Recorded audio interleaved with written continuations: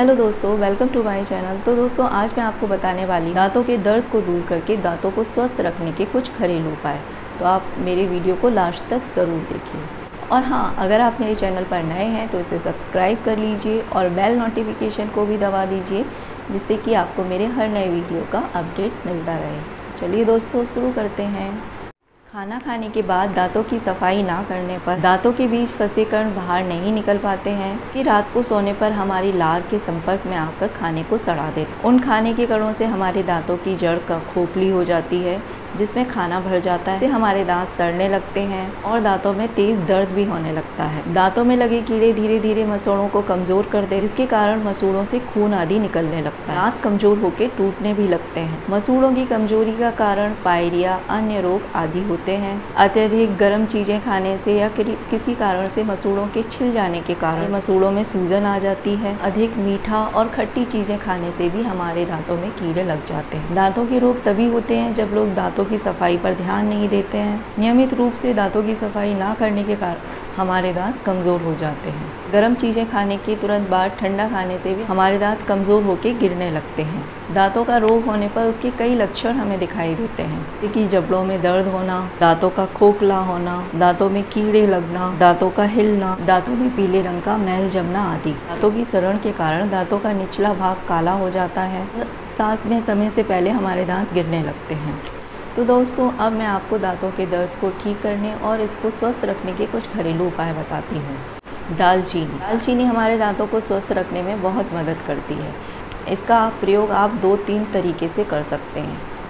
First, एक चम्मच दालचीनी के पाउडर को पाँच चम्मच शहद में मिलाकर दिन में दो तीन बार मसाज करने से दांतों का दर्द ठीक होता है और साथ में दांत भी मज़बूत होते हैं। इसके अलावा दालचीनी के रस में रुई भिगोकर दर्द वाली जगह पर रखने पर भी दर्द में हमें आराम मिलता है। एक चौथाई चम्मच दालचीनी के पाउडर को दिन में दो से तीन बार गर्म पानी के साथ लेने पर भी दर्द में आराम मिलता है।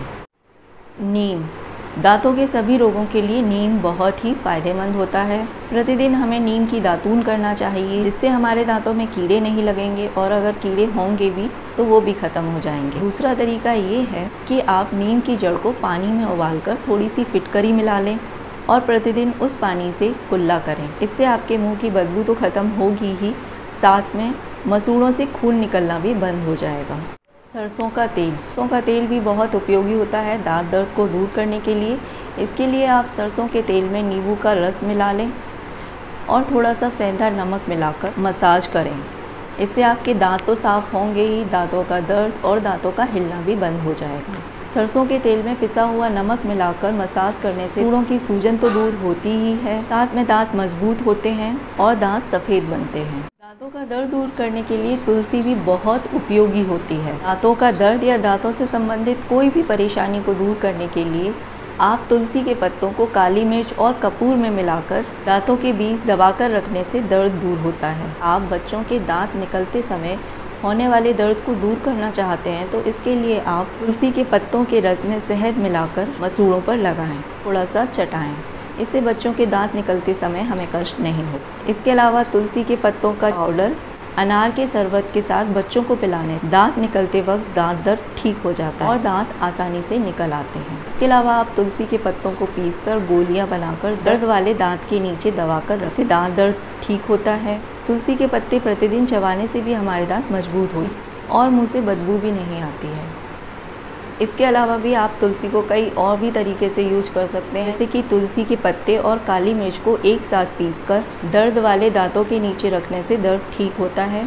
तुलसी के रस को हल्का गर्म करके पानी में मिलाकर कुल्ला करने से दांतों के सभी रोग ठीक होते हैं। तुलसी के पत्तों के रस में हल्दी और सेंधा नमक पानी में मिला कुल्ला करने से दांत दर्द ठीक होता है। तो दोस्तों, हल्दी भी बहुत उपयोगी होती है दांत के दर्द को ठीक करने के लिए।